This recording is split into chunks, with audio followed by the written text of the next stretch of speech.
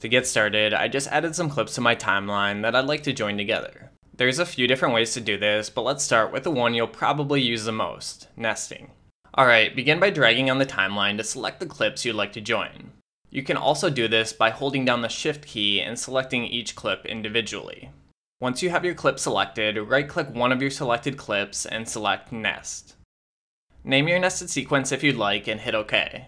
Alright, and there it joined my two clips together in one nested clip. Now you can add effects or whatever you want to the nested clip and it'll be applied to both of the clips you joined together. And you can change the effects properties as normal by selecting the clip and going over to effect controls. If you ever want to see the clips individually, just double click your nested sequence to open up a new tab on the timeline that shows its contents. You can even apply effects to each clip individually within the nested sequence if you want to go that route. Think of nesting as a container that's just holding your clips inside of it, and you can either apply changes to the whole container or open it up and apply changes to each piece inside it.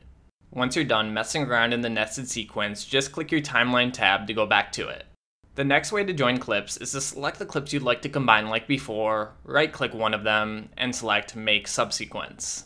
This works exactly the same as nesting, but it leaves your original clips on the timeline alone and instead creates a new subsequence over in the project panel that contains your combined clips.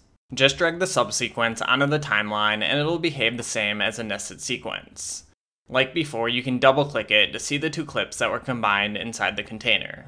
Okay, this works fine, but let's say you don't want to actually create a container and instead just want to group clips together so that you can move them around more easily on the timeline. To do this, select the clips you'd like to group, right-click one of them, and select Group. Now when I select one of my grouped clips, it'll select anything that it's grouped with. And when I move them, they move together. The downside to this, though, is if I apply an effect to my group clips, select the clip, and go to Effect Controls, it won't let me change the effect's properties because it's still treating them as two different clips. Alright, and those are the ways to join clips together in Premiere Pro. Thanks for watching and see you next time.